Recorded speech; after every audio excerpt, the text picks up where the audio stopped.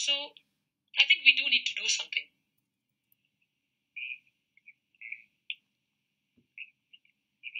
At one point in my life, I said, well, how are we going to oppose this? Well, let's just hijack a plane. I'll be very frank. Uh, that's I saw that was the only way out. In the past, those were the circumstances, and circumstances pushed me to take this step.